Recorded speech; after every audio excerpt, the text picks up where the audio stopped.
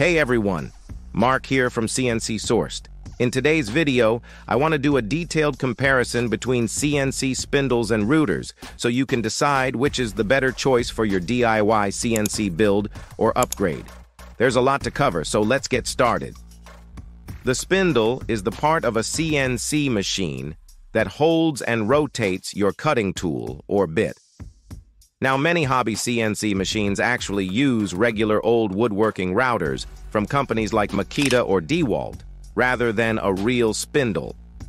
These routers are super common among home and garage CNC builds because they are affordable and easy to get. But how exactly do they compare to a professional spindle? There are some key differences you need to understand. First, let's talk about the motors. The most important difference between routers and spindles is the type of electric motor inside. Routers have what's called a universal motor. This is the same kind of motor you'd find in an ordinary kitchen appliance, like a blender or vacuum cleaner. Universal motors are designed for light, occasional use. On the other hand, CNC spindles have heavy-duty three-phase induction motors.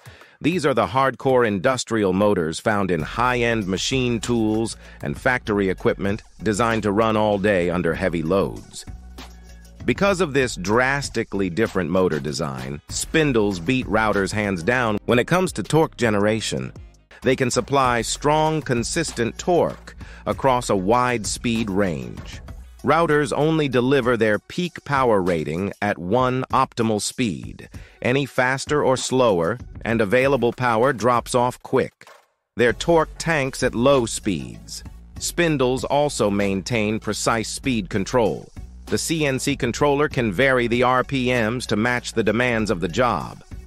Routers only allow manually selecting from a few preset speed levels using a dial. In terms of durability, spindles are built for the long haul, with a duty cycle of 80% or more in many cases. Expect 8,000 hours annually. Routers are only designed for occasional use, with brushes and bearings needing replacement every few years. Spindles are also much quieter thanks to not having all that internal metal-on-metal -metal contact. Routers can be irritatingly loud, especially at startup, Consider hearing protection. Now for accuracy, spindles have lower runout, which is a measure of how much the axis of rotation wobbles. Less runout allows them to hold very tight machining tolerances. Routers work fine for soft materials like wood, where a few extra thousandths of an inch doesn't matter. But spindles excel at precision metal work. So with all these advantages, why would anyone use a router in their CNC instead of a spindle? There are a few good reasons, actually. First is cost. Industrial spindles run over $1,000 in many cases. Routers can be picked up for under $200 on sale. That's a huge saving for hobbyists.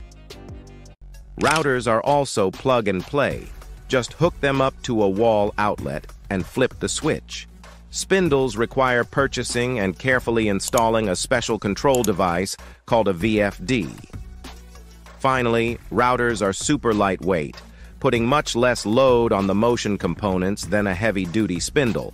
This matters for smaller or DIY CNC machines. So when should you choose each option? Here are some recommendations.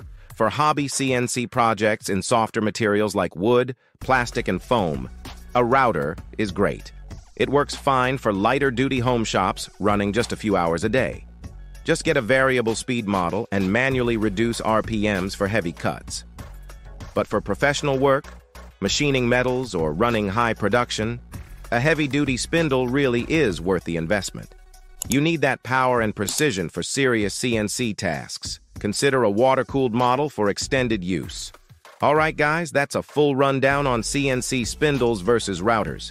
Let me know if you have any other questions. I invite you to read our complete in-depth article comparing spindles and routers over on the CNC-sourced website. Just click the link in the video description. Thanks for watching, and I'll see you next time.